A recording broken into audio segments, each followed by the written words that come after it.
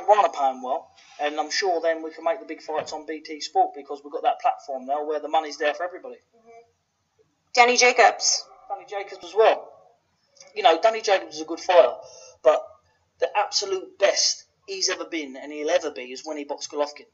You know, because he was in that fight all the way, and I personally, I had him one round down, but that is the best of him.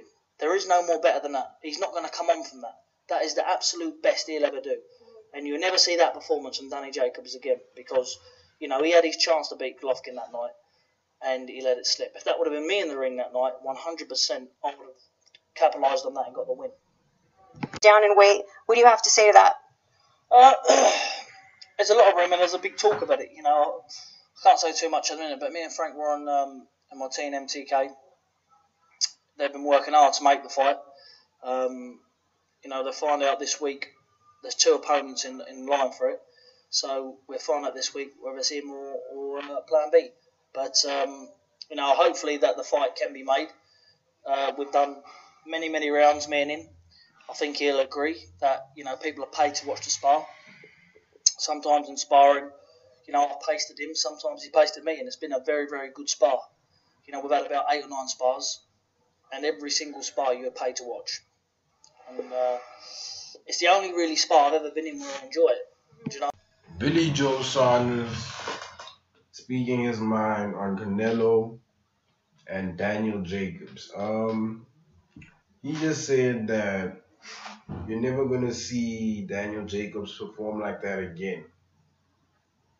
And I don't have an argument for his said statement. I don't know if Daniel Jacobs has fought since the Triple G fight, but I'm gonna look that up, right? Then I'll have a proper argument. As for Billy Joe and his injury, at first I thought that it was well fake fake news, you know, gossip. Now that the man has said that he he really was injured, well, you can't can't argue with him over that. Only he would know. Um, if he was planning on being an alternate for Triple G and Canelo, that didn't work out. But I'm pretty sure they have something lined up for for Mr. Billy Joe Saunders, man. Um, he's a hell of a trash talker. Between him and Tyson, I like him. Um, why? I don't know. I just gravitate to his trash talking more than Tyson. Um, Tyson, simply because of his last performance, I just I want to see more. You know, that wasn't like a great fight. You know, that that was nothing happened. Like nothing of consequence happened. Nobody got really hurt. He just gave up fourth round. Like he just gave up. Yeah, that's my time. I'm done. So, you know, he he has a lot to live up to now. He has a lot. He has a lot riding on the next one, two fights. Um, those can't be washovers. Those can't be people who are just gonna give up.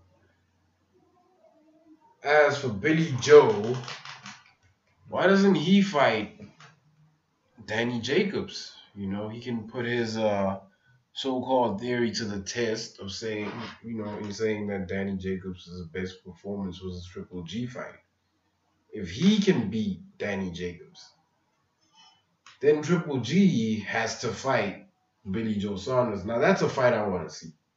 That's a fight I want to see. I don't know if Triple G can beat Billy Joe, man. Um, I'm, I would bet on Triple G, but I'm not 100% sure with that. Let me know what you guys think. Like, comment, subscribe, and I am out. By unanimous decision. Uh, I see you walking around. You've been screaming George, even though you just beat BJ Penn in an outstanding fight. What's on your mind right now? I don't think George is hurt. I think he's scared. I think he's scared to fight everybody right now. What's up? Where are you at, George? This is obviously